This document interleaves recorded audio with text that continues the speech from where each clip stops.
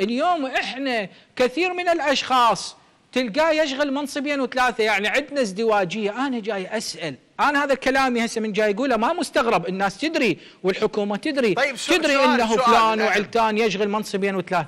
أقول يعني الدولة ما بيها؟ لا لا السؤال يستلم راتبين نعم. بهالحالة هو؟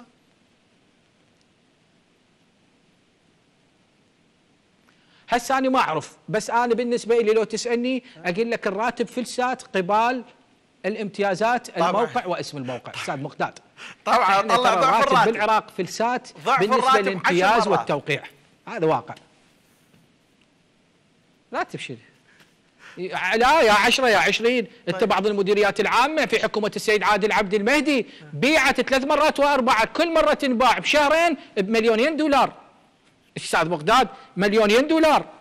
في حكومة السيد عادل عبد المهدي ومدير مكتبه أبو جهاد كانوا يبيعون المناصب الحكومية مديريات عامة يبيعونها بمليونين دينار مليونين دولار.